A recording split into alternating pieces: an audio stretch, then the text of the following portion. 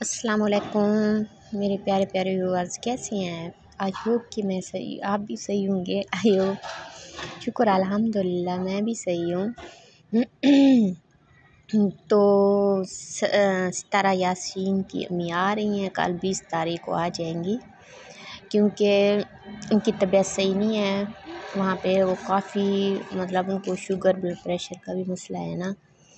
تو اس وجہ سے وہ کل بیس تاریخ کو ان کی سیٹ کنفرم تھی۔ تو کل آ رہی ہیں۔ تو آپ سے میری پلیز ریکویسٹ ہے، میرے چینل کو سبسکرائب کیا کریں، لائک کیا کریں، شیئر کیا کریں۔ اور یہ آپس میں جو ان ان لوگوں کی لڑائی ہے نا یہ دل بار ستارہ ستارہ کی دل بار کی ستارہ کی تو نہیں ہے۔ دل بار کی مما کی اور نینا کی، ان کو آپس میں نہیں لڑنا چاہیے کیونکہ ان کی تو بڑا ریلیشن ہے۔ اور دیکھیں پتہ نہیں اندرونی حالات جو بھی ہیں، لیکن ظہری طور پہ جو چیز نظر آ رہی ہے نا، ان کو یہ نہیں کرنی چاہیے۔ باقی، اللہ پاک ہر انسان کو اپنے گھر میں آباد اور خوش رکھے۔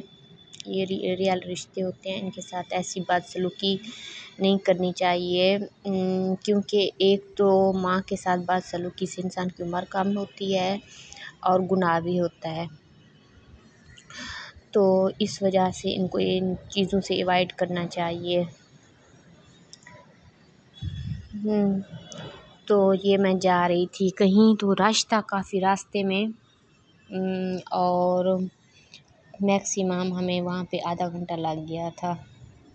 وہاں پہ نہر، پل ہے نا، نہر کے اوپر کافی ساری بنی ہوئی۔ تو اس وجہ سے وہاں پہ کافی رش ہوتا ہے نا ٹریفک کا، خاص طور پہ شام کے ٹائم۔ کیونکہ آج کل گنے کا سیزن بھی اسٹارٹ ہو گیا ہے۔ شاید اس وجہ سے یا ویسے کبھی کبھار کافی رش ہوتا ہے۔ تو میں نے کہا کیوں نہ میں اپنے ویورس کے ساتھ یہ بات شیئر کروں کہ کتنی رش ہے دیکھیں۔ اور وہاں پہ ہمیں آدھا گھنٹہ لگ گیا تھا۔ جب انسان درمیان میں پھنس جاتا ہے نا نہ آگے کا رہتا ہے، نہ پیچھے کا رہتا ہے۔ پھر پھر وہیں پہ رش کو دیکھنا پڑتا ہے کہ کتنا رش ہے۔ تو پلیز آپ میری چینل کو مکمل واچ کیا کریں میری ویڈیو کو۔ اور اگر آپ میری ویڈیو پہ نئے ہیں تو میرے سپورٹ کریں، سبسکرائب کریں، لائک کریں، شیئر کریں۔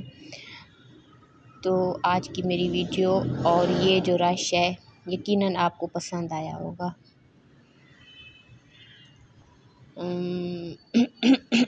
میرا گلا کافی خراب ہے، کیونکہ پتہ نہیں موسم چینج ہو رہا ہے۔